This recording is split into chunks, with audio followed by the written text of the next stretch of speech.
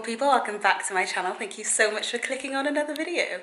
In today's video, we are going back to old OG three years ago student videos on this channel. Have any of you been on this channel for up to three years? No worries if not, if you're new, thank you for joining. If you have been here since the student fitness days, then let me know in the comments. But I just was about to meal prep and I was like, why don't I just meal prep with them and just show you what I'm making. I'm actually really hungry right now, so I'm gonna make a meal for right now, but I'm gonna make enough so I can pop it in some tubs and just do a meal prep. That's how I meal prep now, by the way.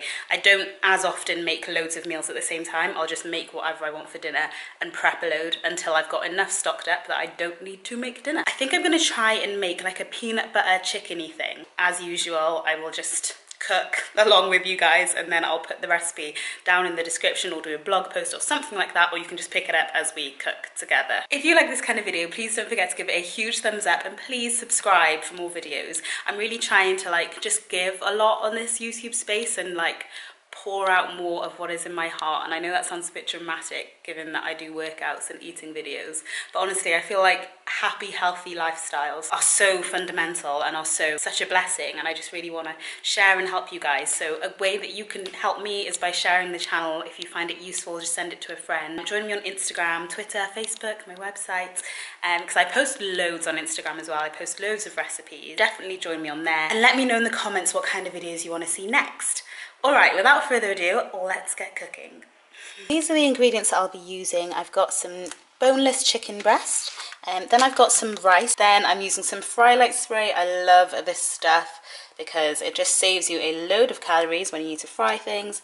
Then I've got some smooth peanut butter, some salt, some thyme, a lemon, a couple of Maggi cubes, would have gone with chicken stock cubes, but I have run out, so I'm just gonna use some Maggi cubes, one red chili, and then some onions. I actually buy my onions sliced and then I just freeze them. That just saves me from crying. I'm just so done with tears, you guys. Got some broccoli, so just a vegetable of choice really. So I'm using some tender stem broccoli there, and then I've got some already rinsed and washed rice in the pot ready to be boiled. I'm just gonna add in a bit of salt into the rice. Then I'm going to cut up my chili into small slices. Not that small, just as small as I can be bothered to, to be honest. One of these days, I'm gonna sharpen my knives and then I will probably still be bad at cutting things. and I just won't have an excuse anymore. Next I'm gonna cut up the chicken breast into small thin slices. Not too thin, so that would be a little bit creepy, but also not too thick because then it won't cook as quickly and you do want it to cook relatively quickly. Low-key forgot to film myself slicing that, but you get the gist, right? You get it. Next thing I'm gonna do is take some of my boiled water and I'm basically just gonna use it. Oh, shut up. This kettle is cute, but so rude. It's so loud and annoying. But it's cute though.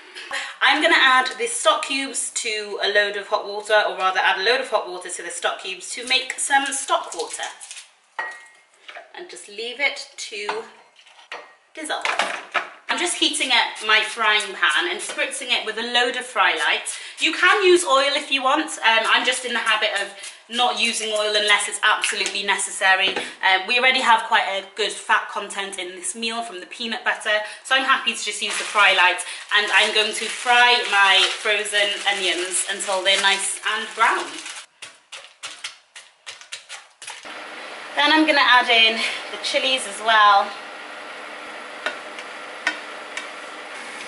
And now I will add in the chicken which is quite a lot by the way.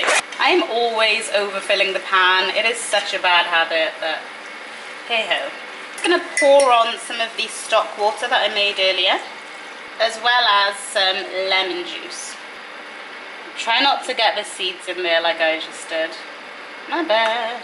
I also added in some thyme, and then the peanut butter. Three generous tablespoons of peanut butter.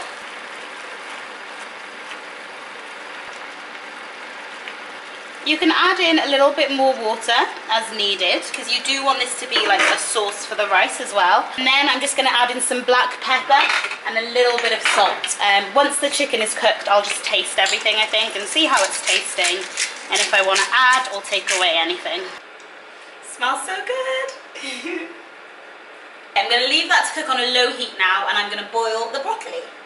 The peanut butter chicken is done and it tastes incredible. The chicken is so succulent. And um, so I'm gonna go ahead and lay everything out. I have six tubs here. To be honest, I've kind of just made as much as I had in the kitchen. I haven't weighed anything. I tend to eyeball things.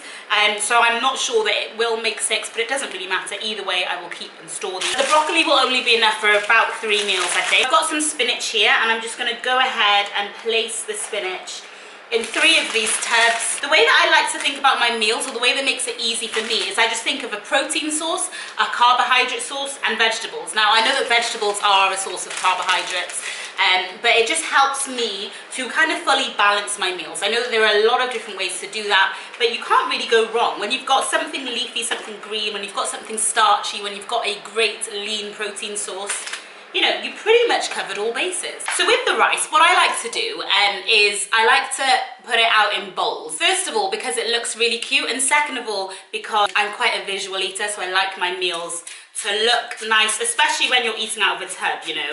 It can be a bit meh, and if you want to be able to Instagram them, you do want them to look cute.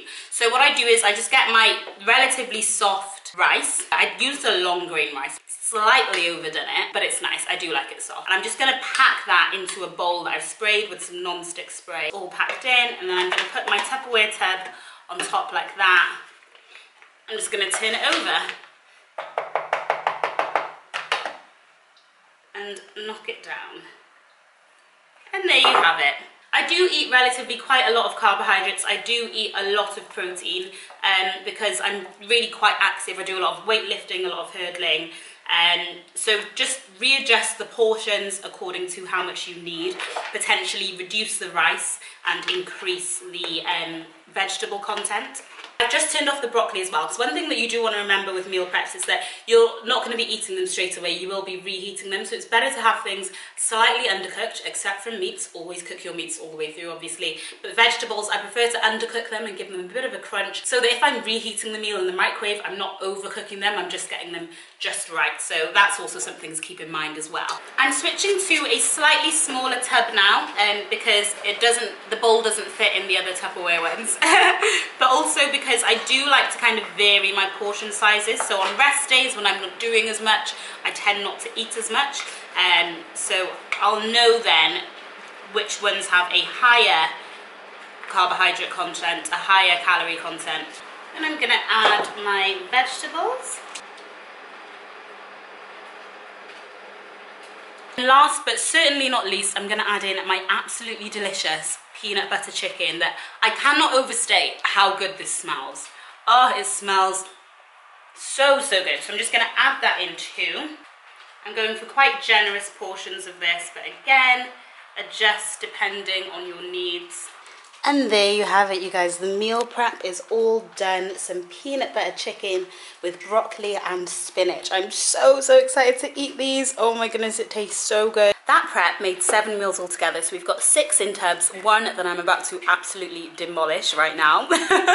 now the way that I will store those is that I will put two in the fridge and I'll put the rest, so four, in the freezer. The reason that I do that is because I don't want to have to rush these. I don't want to have to be having peanut butter chicken for breakfast, lunch and dinner for the next few days. Um, so I freeze them and I will leave them in the freezer for honestly as long as I want. if you want the texture to remain good, then you should try and not leave them for longer than like a few weeks. Um, but follow the directions on whatever food you're using in terms of how long it can be frozen after you've cooked it. Honestly, I tend to err on the side of I do what I want, um, but just to be safe, definitely follow the instructions for whatever food it is that you are using in the fridge these should hopefully keep for around about two to three days but again I go by like looking at them smelling them if for some reason it's been really hot or someone's left the fridge open and they look gone off I won't eat them um, if they look good don't quote me on this, but I will still eat them. And yeah, that is it. That concludes our video for today. Thank you so much for watching. Thank you for sharing life with me, guys. Thank you for your kindness and love. You guys are the best. I'm really grateful to have this internet friendship, whatever you want to call it. And yeah, if you like this kind of video, definitely let me know in the comments because I prep basically like all the time. Okay, like a few times a week. Um, but I can definitely just grab the camera and show you guys what I'm eating. Please let me know if you try this recipe and definitely tag me in all of your Instagram pictures if you make this at Dr. Sienna. I would love to see it. Just it makes my day. Thank you so much for watching. I will see you guys in my next video. Bye.